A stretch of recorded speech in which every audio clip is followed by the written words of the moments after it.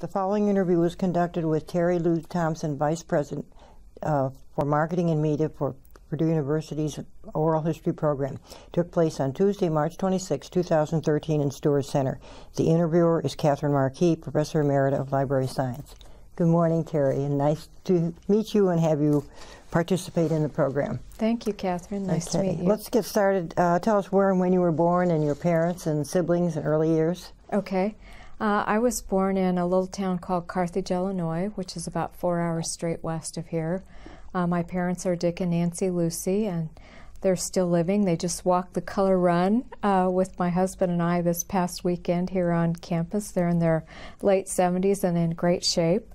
Um, I have two siblings, uh, brother Mitch, who's an attorney for State Farm Insurance in Bloomington, Illinois, and a sister Jill, Jill Beck, uh, who's an emergency room nurse in Columbia, Missouri.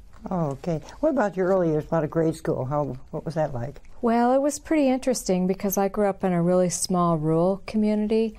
Uh, the town was called Basco, Illinois. I think there may be 100 people there. Uh, my parents were farmers, and uh, the school I went to, uh, I had Miss Alma uh, for my first, second, and third grade teacher, and actually, all of those um, grades were in the same classroom. I had five students in my class. Uh, there were for grades one, two, and three. Well, actually, so first grade I had five, and then the second grade class had, I think, ten, and maybe there were three or four in the third grade class. So Miss Alma had us in rows, so there'd be grade one, two, and three, and she might start grade one on math problems or something, and she'd give us some work to do, and then she'd go stand in front of the second grade class and teach them something else, put them to work, go to the third grade class, teach them something, and then come back to the first grade. Absolutely a, a, amazing uh, lady. And then the same thing happened in fourth and fifth grade. We were in the same classroom with Mrs. Earls. Um, it was when I got glasses. I still remember. Um, Mrs. Earls called my mother one night and said I had been a little ornery in class. She had asked me to read something on the calendar, and I had said, What calendar? And she thought that was a little atypical for me, and that's when they discovered I was nearsighted. Um, but it was actually um, in in fifth grade. Then there was quite a movement. This would have been uh, late '60s, and there was uh, a new superintendent brought into our school district, and quite a movement to begin consolidating these small rural schools. And my father decided to run for the school board as a write in candidate because he felt like it would be wrong to shut down these small schools. And if we went into this big consolidated district where I'd have a whole 63 people in my class, uh, it would be a really bad thing. Uh, so Dad ran for the school board and actually won, uh, along with several, three or four more of his kind of crony farmers who, who held the same sort of perspective. And I, I really think it was one of the pivotal experiences in my life because my dad, once he was on the school board, uh, changed his mind. He heard uh, kind of a young superintendent and principal had been brought in and as they talked about their vision and talked about the benefit of uh, being in a larger school for the students as well as the financial benefit to the district, uh, he thought, well, you know, maybe this isn't so bad after all. Bus ride may not be the greatest thing, but it may be better in the in the long run. So um, after that, then junior high was was spent at this larger school. Right. Yeah. Okay. Yeah. Now let's talk a little bit about high school. Your any of your teachers or your course of study and student organizations. Well, I was really involved. Again, it was a really small school. You know, there were about 200 or 250 in the whole high school. So I was one of those people that was in, I think, everything that it existed from, uh, you know, cheering to Girls Athletic Association to working on the yearbook to, um, oh, uh, student government, student probably. government, Right. just you know all sorts of, of organizations, and really loved it. The name of the high school was Warsaw High School. Um, in terms of teachers, I suppose one of my English teachers, Mrs. Andrews, had the most impact on me. Um, and what I probably most enjoyed was doing research projects um, and doing speeches. I think early on I kind of fell in love with language arts and Sure. public speaking and writing and that sort of thing. Good. Okay. And I think you continued. Uh, then you, now when you graduated from high school, did you go straight on to college? And- I did. Okay. I went to Illinois State Okay. University. I actually started out as a psychology major.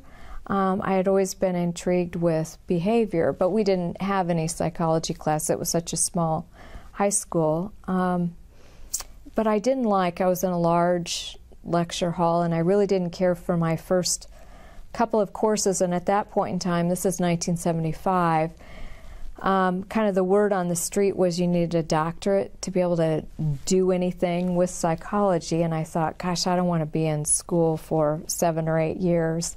And of course, I had a boyfriend, you know, at that point in time, and thought, oh, that'd just be awful to take seven years to to graduate. So I ended up switching my major to education. Okay. Um, what was campus like? Did you live on campus? I did live on campus. Okay. Um, you, were you in a sorority or? I was not in a sorority. Um, I worked. I worked in the cafeteria in the dish room, and then worked as an administrative assistant in the speech department. Oh, good. Um, and I was uh, pretty active on campus, but between studies and working. And I graduated in three years, so I always took an overload every semester and worked summer schools. So Oh, uh, it was a big. Um, I suppose the campus was about twenty thousand at that time, which is you know about half the size sure. of Purdue. Right. Yeah. Okay. And then did you go on to gra- you did some graduate work? You have- I did. I have yeah. a master's degree. Um, I started immediately after, um, but spent several years finishing my degree. I taught um, high school level? English, uh, primarily sophomores, juniors, and seniors. Had a couple of sessions, uh, sections of junior high students, but for the most part, This is in uh, high school. in high school, yeah, Uh-huh. yeah. Okay. So I would work, um, you know, during that time at going to school at At night to time. finish the degree. Yeah. Okay. All righty. So- Now the career path prior to coming to Purdue. Tell us a little about that. Yeah. Um, so I spent, uh, let's see, about five years teaching in small rural schools in central Illinois. Um, I taught in a little town called Eureka, which is the birthplace of um, President Reagan. Um, I taught for a couple years at a little town called Cerro Gordo, which means fat hill in Spanish, a small little town down by Decatur, Illinois. And then I taught two years at Wapella, another small school. And then I thought I'd just landed my dream job when I got hired by University High School, which is the laboratory school associated with Illinois State University. Uh, it's the oldest laboratory school in the country, and it was considered by far one of the best schools in Illinois. And the school um, took a lot of the professors' uh, children from ISU and State Farm's corporate headquarters are in Bloomington, so a lot of the State Farm uh, employees. So a lot of really, uh, really gifted and talented students went there. So I spent uh, about eight years teaching there. I was chair of the English department and at the same time was a faculty associate for Illinois State University because the laboratory school was a part of the College of Education, so we were overseen Sure. by the dean of the College of Education, and so a big portion of our positions there was working with clinical experiences students. Um, so they weren't full-time student teachers, but they would come in for two, three, four-week rotations to work on a particular uh, skill or, or area of their discipline. So I worked with a lot of student teachers um, or clinical experiences students, um, chaired the English department, um, really, really I- enjoyed that experience Yeah, a lot. good, good Yeah. exam, or good Yeah. experiences, you said. Yeah. And then what came next before you came to Purdue? Well, several things. Okay. um, I got hired by um, State Farm Insurance. It was kind of In funny Bloomington? in Bloomington, Illinois. I actually had the son of the vice president for public affairs. Uh, the father was named Dan Duran, and the son was Brian Duran. And Brian was a little peanut in class. He was extremely gifted, but he never wanted to do any of his homework.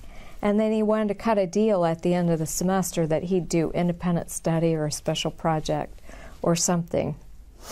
and I said no, you know, and he was used to being very charming and very um, persuasive. He's actually gone on to become an attorney. I keep in, in touch with him. So those persuasive skills were honed early.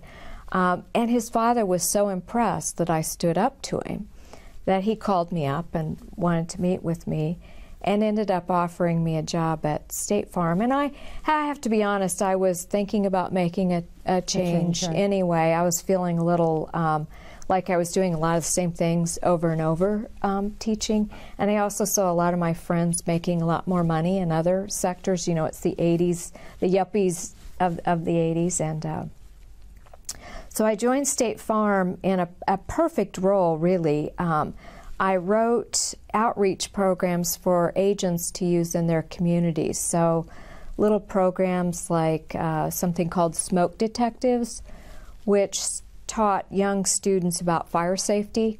And the thinking of the corporation was they were was kind of good corporate citizenship as well as influencing children to good behavior and thinking they would take some of these messages home to their parents sure. and help them be better insured. So I spent about 13 years at State Farm. I held um, seven or eight different jobs there. I moved around a lot. They had regional In offices. No, um, I actually um, moved from Bloomington to Seattle to head up uh, one of their regional offices in, in Seattle, actually DuPont, Washington, which is south of Seattle. And then I came back to Bloomington to do a lot of market research for them.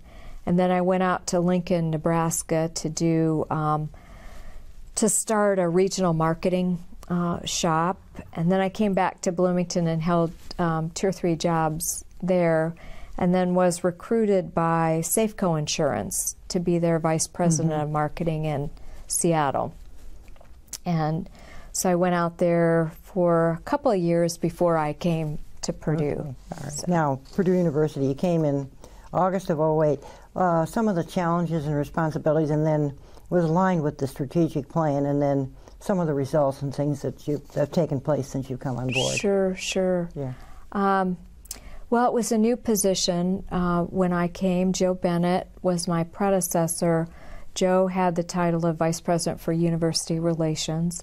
And as the board built the strategic plan and Dr. Cordova built the new strategic plan, there was a feeling that we needed to be more aggressive about our messaging, particularly externally and had decided that they wanted somebody to come in from outside the higher ed discipline and really build a marketing organization here on campus. So when I came, uh, the organization was very different than I think it is as I'm leaving. And uh, a few of the things that we've done uh, to really change the shape of that group is to do what we call brand differentiation research, which is to really figure out and articulate what is it that makes Purdue better, different, special. And that's where we landed on the tagline, What We Make Moves the World Forward, and uh, really started more aggressively marketing the institution and synchronizing our messaging. Um, I, I think it's far from perfect, but we had a lot of people kind of telling their own story, and they weren't sure. united as as powerfully as they could be. Um, we also uh, kind of one of the tenets of marketing is to understand how your customer thinks and to be able to talk to your customer and position your product in a way that is appealing to the customer. So we built a market research group to really do that and to help understand our student perspective, our alumni perspective, our, our donor perspective. So that whole strategic marketing group is something that's that's very very different. Another big change is our welcome center. Um, I was yeah. just so surprised when I walked into Northwestern avenue to the Visitor Information Center, and I saw that we shared the space with parking services. And as parents and their child might be coming in to get literature about the student, they might overhear a parent or a disgruntled employee complaining and fussing about a parking ticket. And I thought, this is not a great, you know, first impression for people to see of the institution. Um, and also our just our materials and kind of our look and feel was not welcoming at all.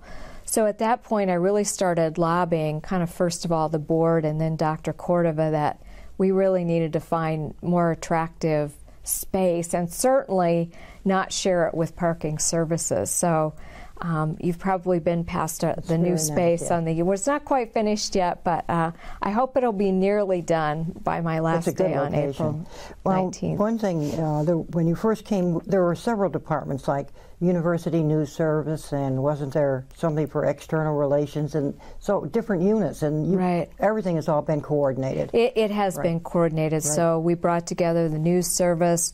We used to call it um, PM um PMC Purdue Right. Marketing Communications out at South Right. Campus Courts. Um, we brought that um, together.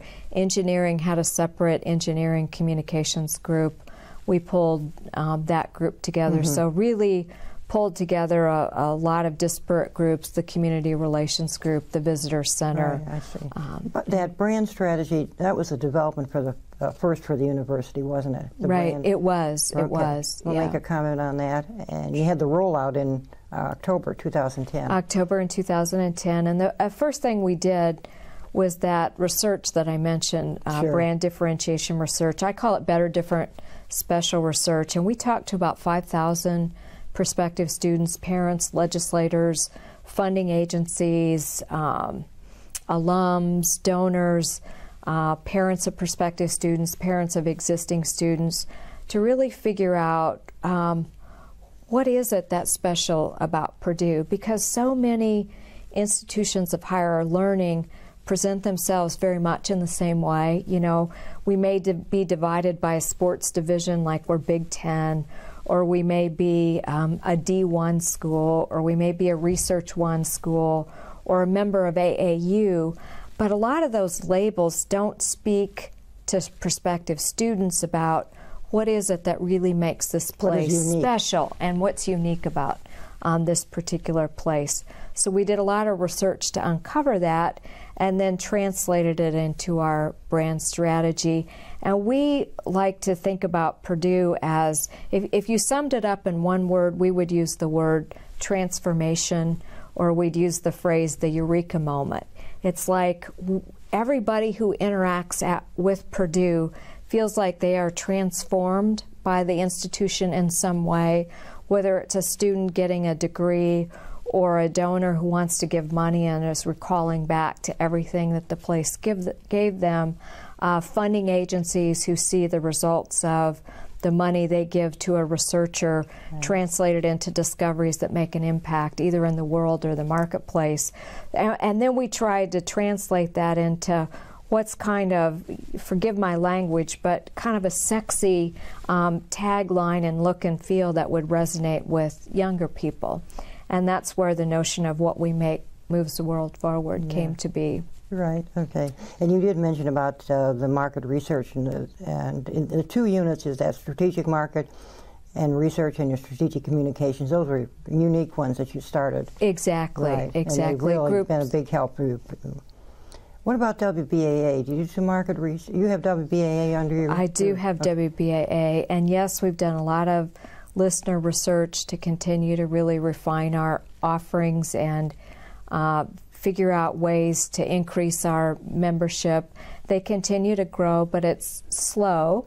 Um, they're really a trusted news source within the community, and we want to keep uh, e- exploiting them and, and helping them do as well as Right, they and it's the oldest one going. It is the Right, oldest one. right. Yeah. Okay. Um, talk a little bit about some synergistic activities. That uh, Lucie Critical Thinking Award that you established at Illinois State. Oh, Make a comment on oh. Yes, thank you. Um, one of the things I was really interested in when I taught secondary, and I seem to have a knack for reaching some of those students who maybe weren't the A students, but they were extremely bright, and for whatever reason, they either weren't motivated in the classroom or they preferred to throw paper wads rather than, you know, read Chaucer. Um, and I, I had a little bit of that teenage irreverence in me, I guess, and was able to say things in a in a way that reached them. And I felt like it was important. So many of our war, awards in high school and really in life, I think, are grounded on good behavior.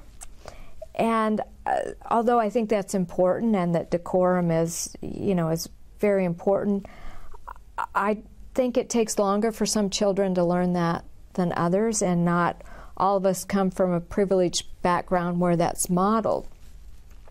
So I wanted to set up an award that acknowledged um, that critical thinking capability, that ability to ask questions, even if it's in an irreverent way in the classroom, and to, to, to think and not just take an answer at, at face value. Sometimes I think in our educational system, we reward good behavior more than we should, and it scares me as I look back and study the Nazis and I study some other things that have happened, I see how easy it is for people to com- become complicit and compliant and not always question those who are in mm-hmm. authority. And, and again, I think respect is important, but I think there's got to be a place for asking that why question. Sure. And why should I believe that? Why should I agree with it? Why does the textbook say to it help that way? Analysis and analytics. Exactly, exactly.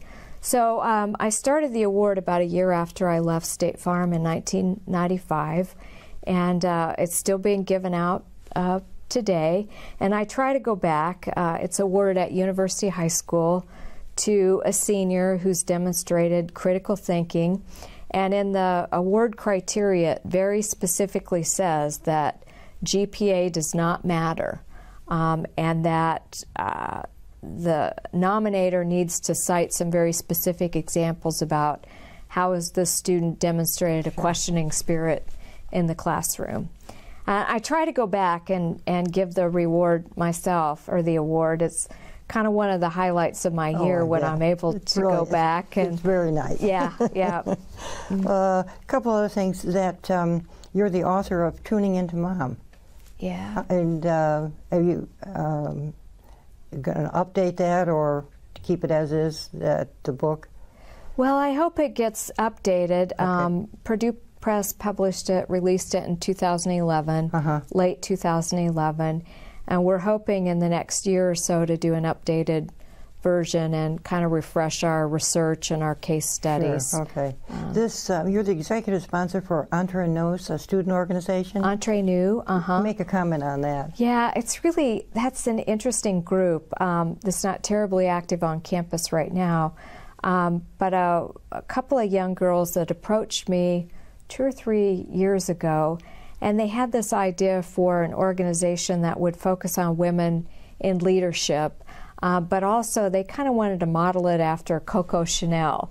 So they wanted leadership, but they wanted a lot of uh, fashion uh, involved in the organization as well. So uh, um, I I got involved in helping them get the organization started. Is it still functioning? It's still functioning here. I, that was one name I had not uh, heard before. Yeah, they had hoped to take it uh, nationwide, but I don't think they quite have the momentum to be ready to do that. it's yet. in the planning stages. It's in the right? planning stages. Yeah. okay, let's talk a little bit about family. Mm-hmm. Um, you, um, you, go ahead. Okay, uh, I'm married. Uh, my husband Lyle uh, was an actuary at State Farm Insurance and very involved in the life insurance uh, company.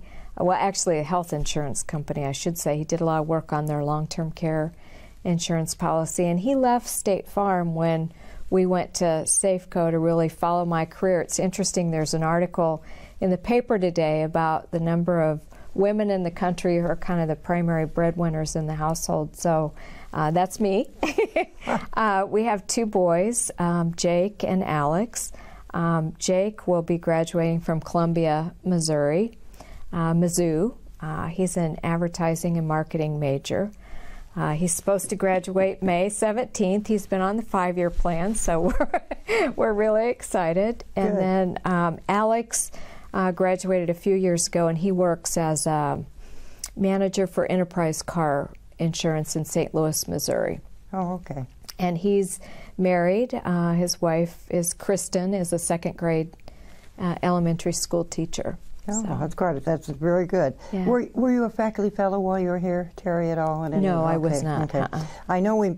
I did mention uh, in the preliminary about some awards, that, but I do want to mention a few, if that's okay. Okay, I okay. think that uh, American Marketing Association, the 2012 Higher Education Marketer, that's very nice. Yeah. How did you happen to hear? Did Did you have any advance thing, or was it a surprise? I sometimes ask people that. You know. Yeah, well, it was a it was a, a total surprise, but not the day I received it. So I got advance notice. Um, I received the award in November at the annual AMA Higher Education Conference, um, but I got news about a month before that I would be named because they wanted some remarks and photos and Okay. that sort of thing. So it wasn't a surprise that day, but when I got notified, I was I was Very. very surprised and very very flattered. That's very Yeah. nice. And you also got the um, uh, in 2011 the AA Lifetime uh, American Advertising Foundation Achievement Award.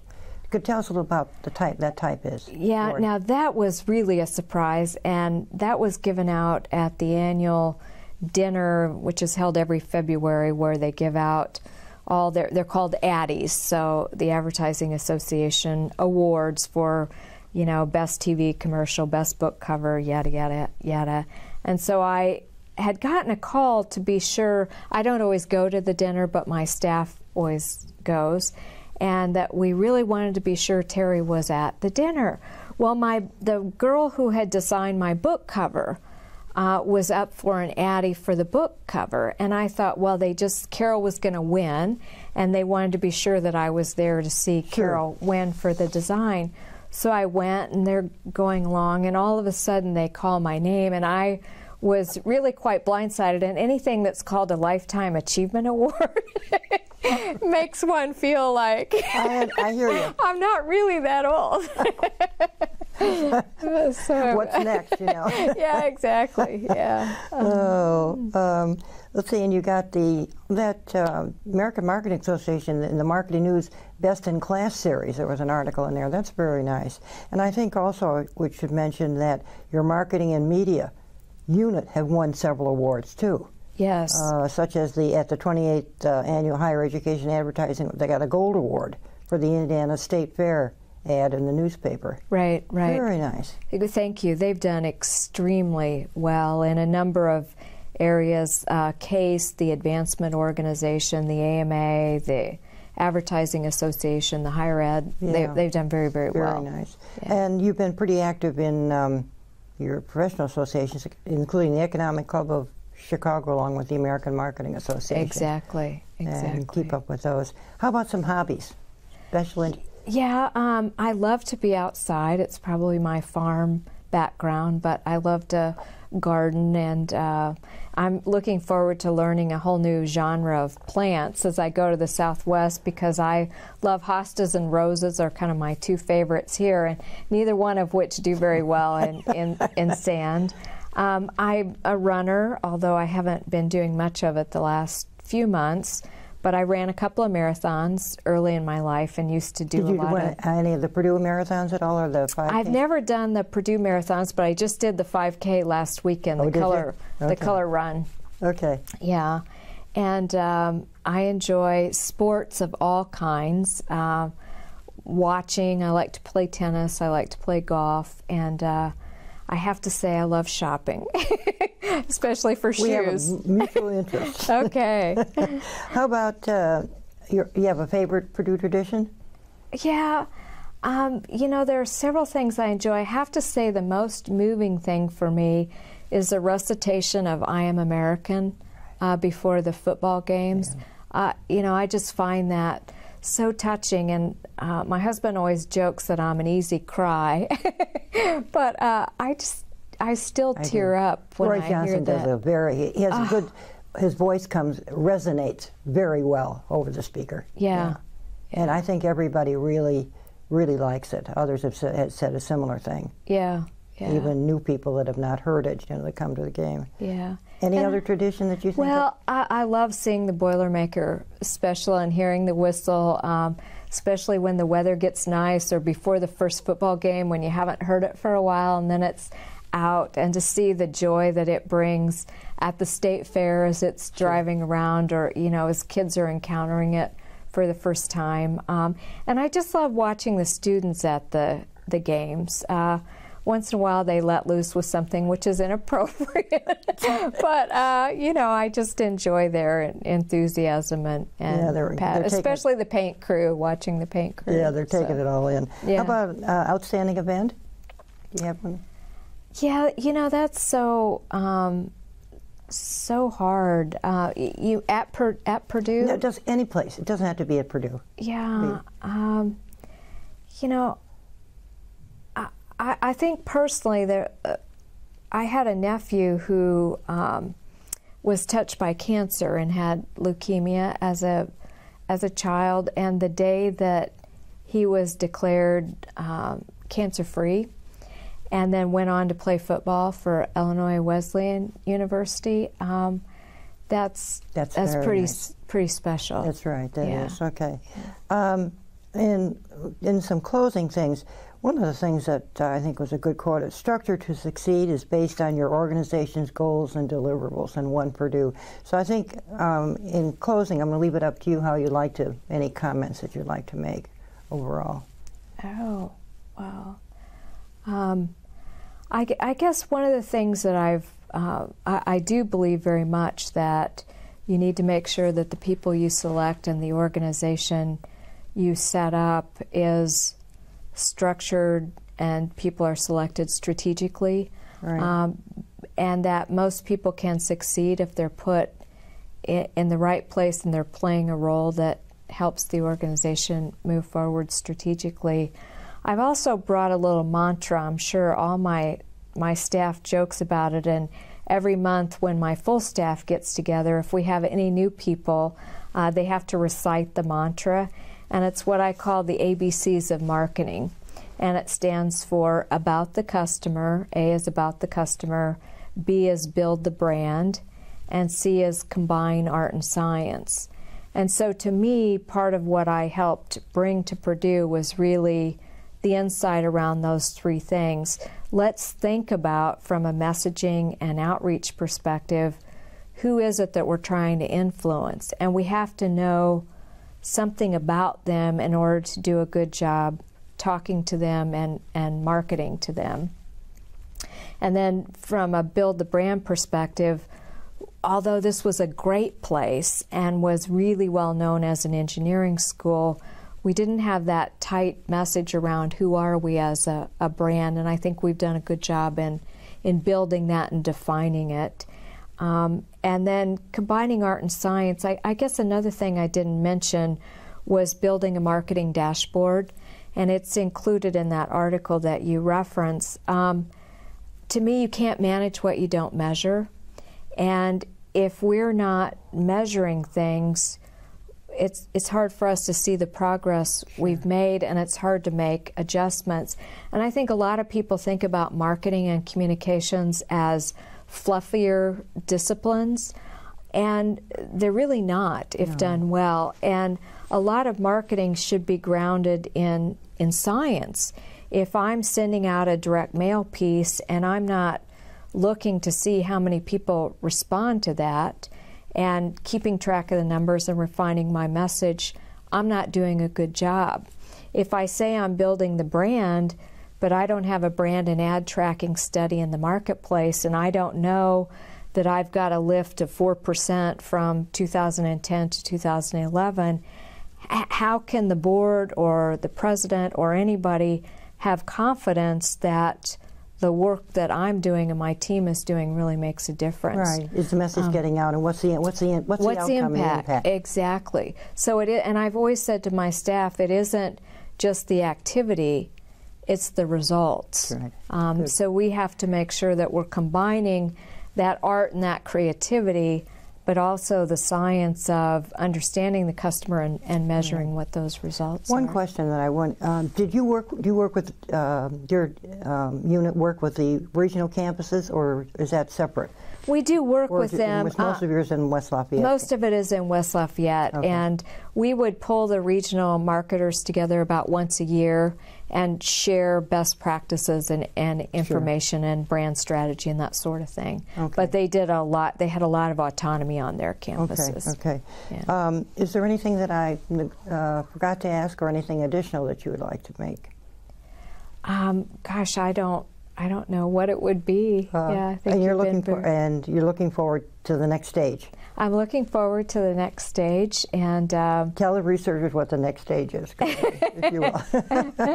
well, I'll it's be. not Wells Fargo. it's not Wells Fargo. So I'll be um, at the University of Arizona in Tucson as their senior vice president for university relations. And I'll have responsibility for a lot of things I had here as well as uh, government relations. And they have a medical school, so the all the marketing of their, their medical school and their hosp- campus hospitals.